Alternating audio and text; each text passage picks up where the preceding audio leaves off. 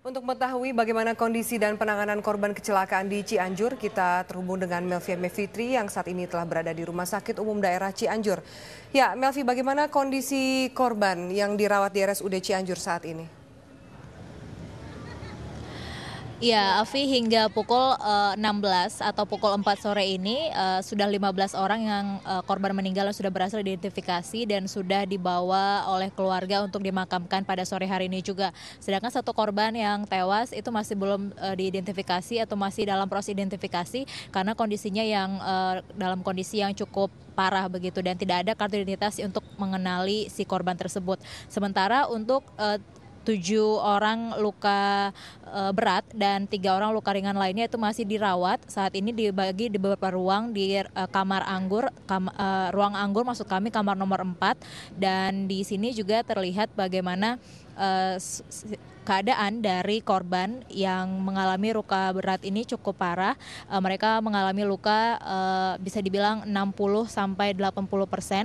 Itu mulai dari kaki sampai dengan kepala uh, akibat kecelakaan yang terjadi di Jalan Raya Sukabumi Cianjur tadi pagi.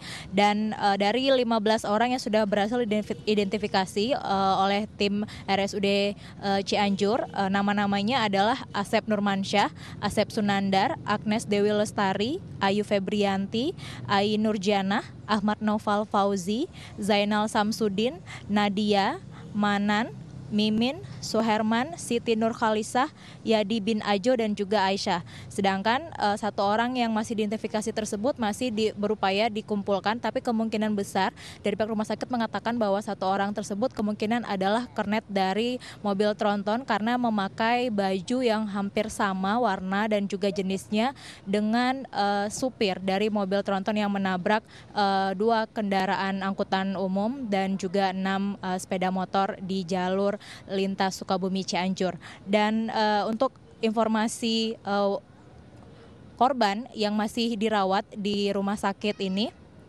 kami tadi juga sempat menemui beberapa uh, korban dan sempat menanyakan bagaimana uh, kondisi mereka dan juga kepada keluarganya. Mereka mengatakan bahwa saat ini uh, mereka pasrah dengan uh, keadaan ini, tapi dari keterangan dokter memang memerlukan uh, pemulihan yang cukup lama karena kondisi luka yang cukup serius begitu. Dan untuk uh, biaya sendiri itu dikatakan bahwa pihak uh, keluarga ataupun korban tidak perlu memikirkan biaya rumah sakit karena akan ditanggung oleh pihak uh, jasa marga dan uh, begitu juga santunan yang akan diberikan kepada korban yang tewas atau juga meninggal akibat kecelakaan yang terjadi tadi pagi, Afi.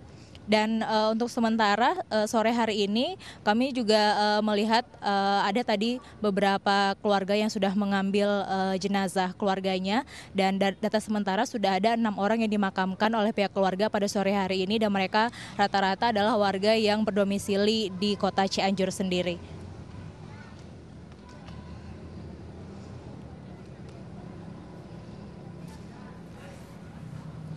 Ya baik. Afi? Terima kasih atas laporannya Melvia Mevri.